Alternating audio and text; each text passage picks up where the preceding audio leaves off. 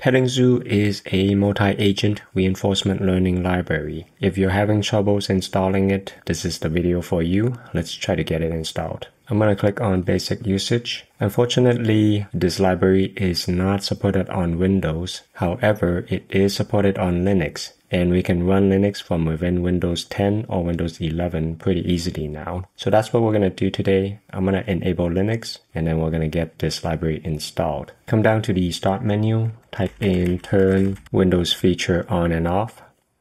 Click on this. Go down here, make sure your virtual machine platform is checked. Make sure Windows subsystem for Linux is checked. If they're not, check both of them, click OK, reboot, and then come back. Now let's hop over to this Microsoft guide on how to enable Windows subsystem for Linux. Let me scroll down here. Make sure your Windows meets the requirement listed right here. If it doesn't, you might want to follow the manual page. If you do, let's hop down here and copy this command. Now it says that we need to open command prompt as administrator. So I'm going to click on the start menu. I have command prompt here. Right click on it, run as administrator. Paste in that command, hit enter. For you, this should automatically install Ubuntu. However, since I already did this, it's showing me a list of other distributions that I can install. So if you want to install other distributions, you can do it by running wsl-install and passing in the distribution name. If you see a message that says WSL needs to update, then you can run WSL-update to uh, update it. Okay, Linux should be installed at this point. Let's see how we can access it. I'm gonna hop down to tutorials, click on best practices, jump down to where it talks about Windows Terminal. Windows Terminal is like PowerShell or the command prompt but you can do multiple tabs and customizations, so it's more suitable for Linux. So let's get this installed. I'm going to click on this link right here, and I'm going to click on Install Windows Terminal. This opens up Microsoft Store. I can view it in my Microsoft Store app, and then get it installed. Okay, it's done. Let me open it. It's gonna look like Command Prompt or PowerShell, but it is not. So I'm clicking on this little arrow on the right here. Select Ubuntu. I'm launching Linux for the first time. It's gonna ask me to create a username. This doesn't have to match your Windows account. So I'll just put in a username here and a password. There we go, we got Linux up and running. The next thing we need is to install Miniconda within Linux so that we can create a virtual environment for PettingZoo. We don't need this, we don't need this anymore. Good with this. I'm at the Miniconda installation page. I'm gonna go down all the way to the bottom, click on Linux, and just paste, copy and paste in the commands here. I'll just copy everything. paste.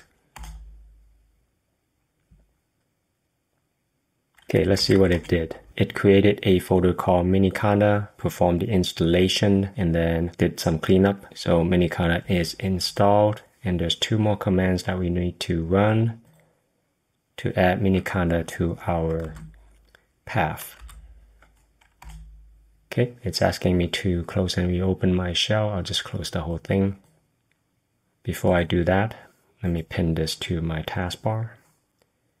I'll close it, open it back up. You can see that Conda is enabled. This is the base Conda installation. Now I want to create an environment to hold petting zoo. I'm going to do Conda create dash n for name, and I'm calling it petting zoo environment. All right, environment created. I'm going to activate the environment. Once it's activated, you can see that on the left. Now going back, we don't need Anaconda anymore. Going back here, PettingZoo is good up to Python 3.11. So let's get that installed within our environment. conda install python equal to 3.11.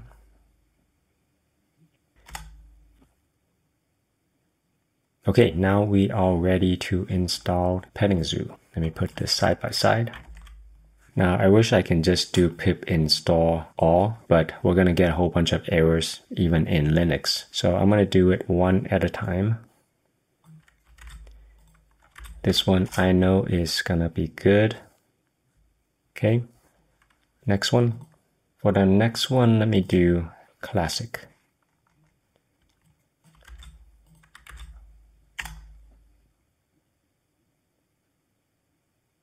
Okay, let's do a quick test in VS Code. We need to install some stuff in VS Code to make it work with WSL. So I'm back at the uh, Microsoft page. Go down to tutorials, go to the get started with VS Code, install VS Code and extensions. This remote development pack is what we need. Click on install. Gonna ask me to open it in VS Code. I'll open it. Okay, I'm gonna install it.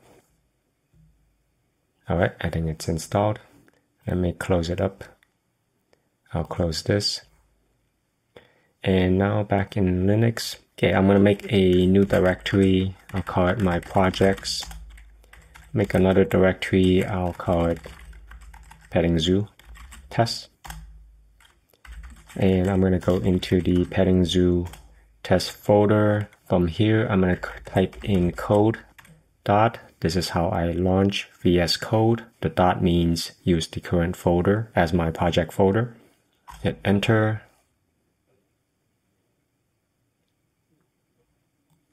Okay, you can see that VS Code, this is actually the Windows version of VS Code, but it's working seamlessly with Linux.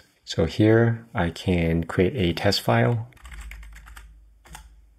If you go back to Windows Terminal now, you can see that the test.py file is created in that petting zoo folder that we just created. Wants me to install Python extension. I'll go ahead and install that. If you go over to the extensions, let me clear that you can see that now there is two categories. One is local, meaning whatever's installed in VS Code in Windows. And also, you see another category. These are the extensions that apply to Linux. All right, back to our file. I'm going to come down to the sample code. I'll just copy that, paste it in here. I'll hit F5 run it as a Python file. Here we go, we got Connect 4 up and running. Let me just stop it.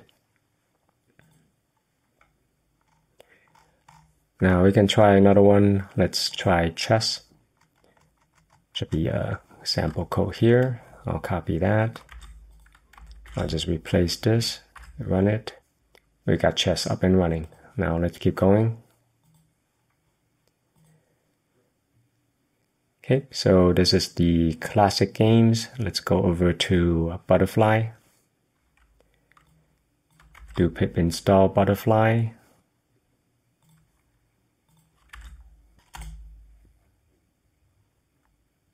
Alright, now we start seeing problems. We can see here that it's complaining about uh, not having the GCC or the C C++ compiler we can install that. First, we want to do an update to our the Linux uh, package manager.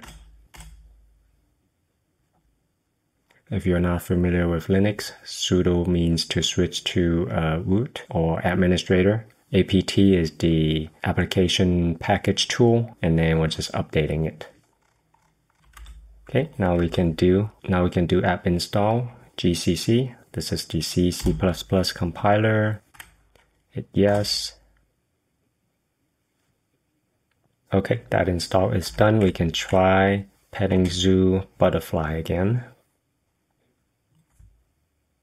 All right, this one is good. I'll copy the uh, sample code from here. Replace my test, run it. All right, this one is good. Uh, there's another one down here. Might as well try it out.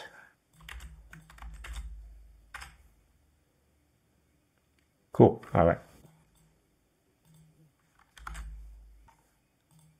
Okay, so classic butterfly is done. Let's do MPE.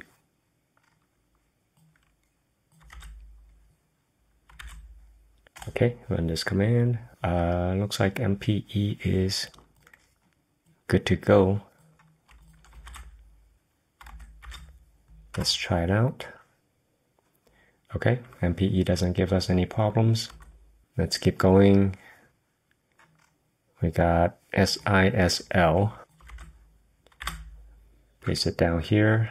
Let's install it. All right, so it's complaining about not having Swig. I did this in the Gymnasium install. We can just do conda install Swig.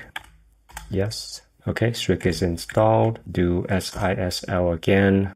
Another error. You know what? When I first install it, I install Atari before this one. So let me just try that. I'm gonna install Atari and then I'm gonna come back to this.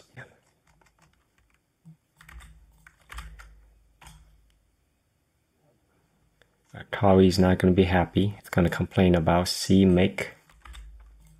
We can install CMake like this. Try petting zoo Atari again. Now it's going to complain about something else. The error is right here. So this is, uh, I Googled this. This is uh, some kind of extension to CMake. Another thing that we need to install we need to install something called build essentials. Okay, let's do Atari once again. Still not happy. Let's see what error is. Okay, now it's complaining about something about zlib after some googling. Clear this again. We need the zlib 1g-dev. All right, let's do Atari again. All right, Atari is installed, but none of the games are installed, so we need to click on AutoROM. Command that we want is this one.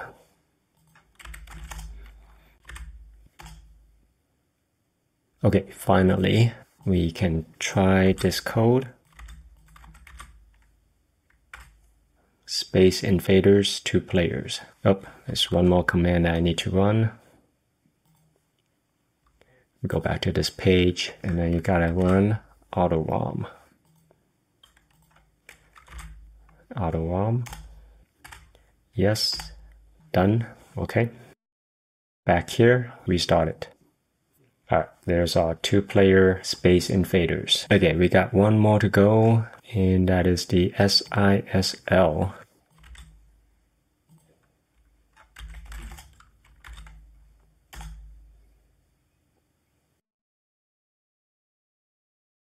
All right, this one is good. Let me try it. Okay, there you have it, everything installed.